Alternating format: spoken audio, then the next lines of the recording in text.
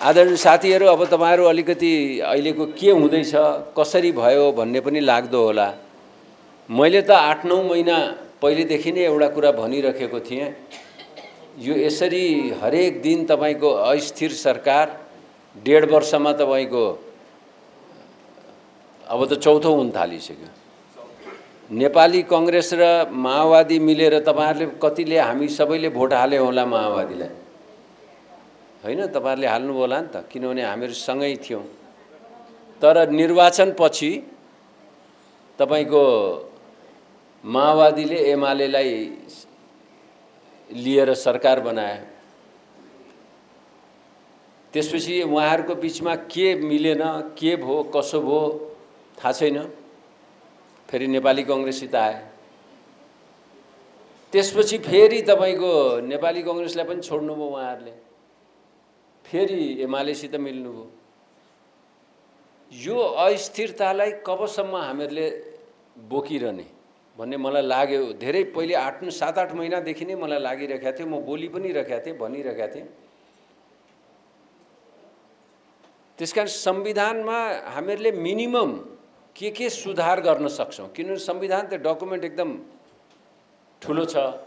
यसमा सुधार गर्नुपर्ने पनि धेरै होला तर ती धेरै कुरामा हामीहरूले छेडखानी गर्न थाल्यौँ भने संविधान सुधार पनि हुँदैन। तर कम्तीमा पनि निर्वाचन प्रणालीमा हामीहरूले सुधार गरेर जान सक्यौँ भने केही न केही जनताले चाहेको कुरा हुन्छ कि भन्ने मलाई लाग्यो। जहाँ जाँदाखेरि पनि उहाँ एउटै प्रश्न हुन्थ्यो यो समानुपातिक हटाइदिनुहोस् समानुपातिक हटाउनुहोस् भनेर। अरू पनि थियो। तर मेन चाहिँ नै मैले समानुपातिकलाई लिएँ। तर समानुपातिक हटाउँदाखेरि संविधानको जुन मर्म छ त्यो मर्मलाई मर्न पनि दिनु भएन हामीले।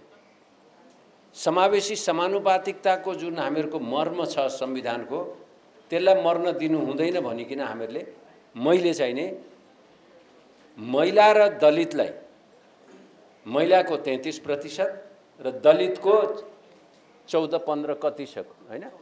चौध प्रतिशत सिट रिजर्भ गरिदिने र महिलाहरूको बिचमा प्रतिस्पर्धा गर्ने दलितहरूको बिचमा प्रतिस्पर्धा गर्ने।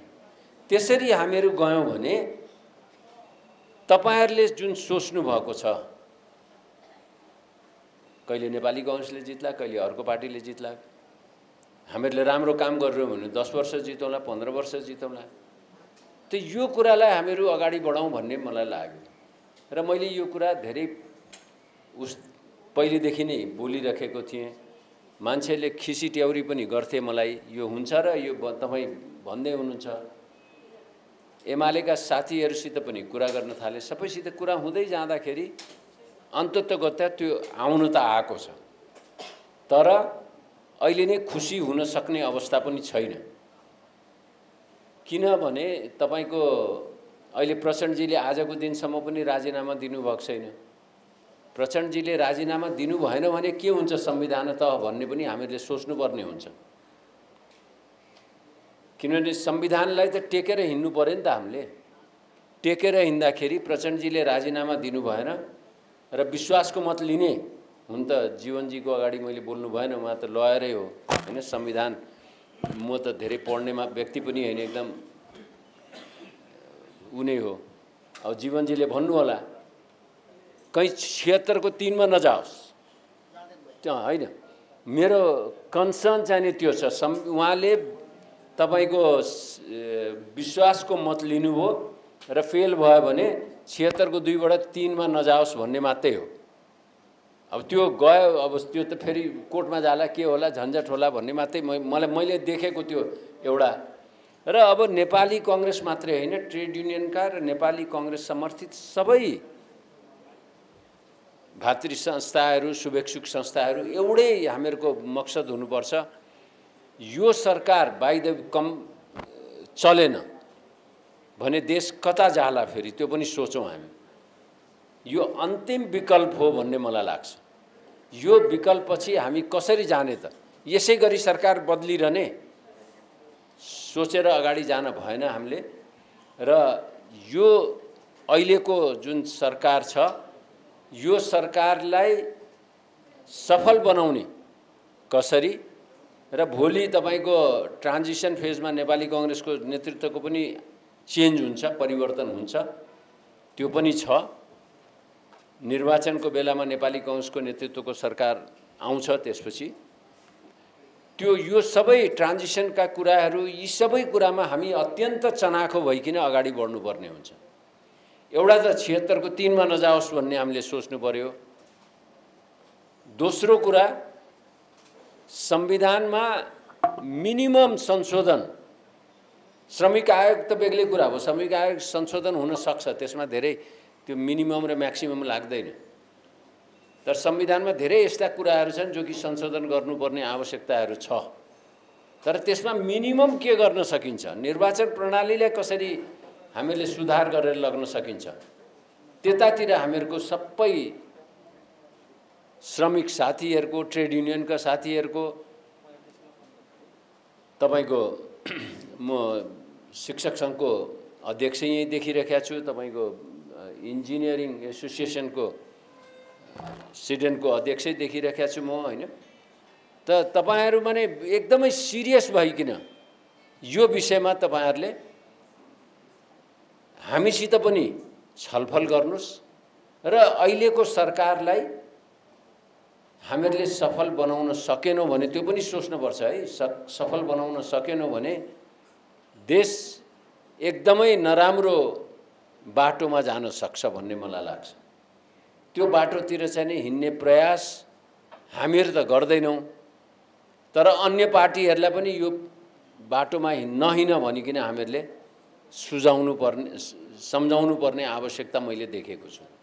त्यसरी हामी गयौँ भने पक्कै पनि हामी हाम्रो मन्जिलमा पुग्न सक्छौँ भन्ने मलाई लाग्छ र त्यो मन्जिलमा पुगेर हामी अगाडि बढ्यौँ भने जिपी कोइरालालाई सच्चा श्रद्धाञ्जली हुन्छ भन्ने पनि लाग्छ।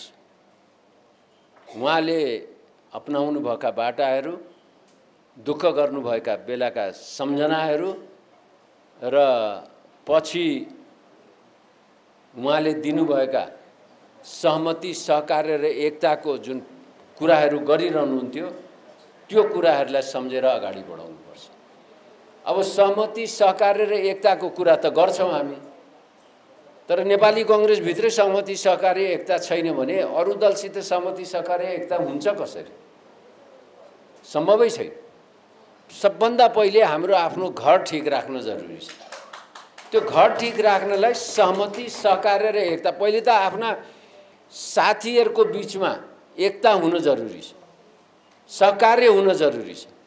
अनि तपाईँले अन्य दलहरूसित सहमति र सहकार्य एकता गरेर हिँड्नुहुन्छ। त गिर्जाबा प्रसाद कोइरालाजीले जुन सूत्र हामीलाई छोडेर जानुभएको छ त्यसलाई पनि मनन गर्दै अब नेपाली कङ्ग्रेस अगाडि बढ्छ भन्ने कुरा तपाईँहरूको माझमा राख्दै तपाईँहरू श्रमिकहरूको लागि मैले सधैँ पहिले पनि लक्ष्मणजी हुँदादेखि नै अलिअलि लागिरख्या हो। तर अहिले यतातिर तपाईँहरूले चिन्ता गर्नुपर्ने आवश्यकता छैन। तपाईँहरूको गार्जियन लक्ष्मणजी नै हुनुहुन्छ। मैले गर्नुपर्ने जे जति छ म तपाईँहरूको लागि सधैँ चौबिसै घन्टा मेरो ढोका खुला छ भन्दै म बिदा लिन्छु। धन्यवाद जाने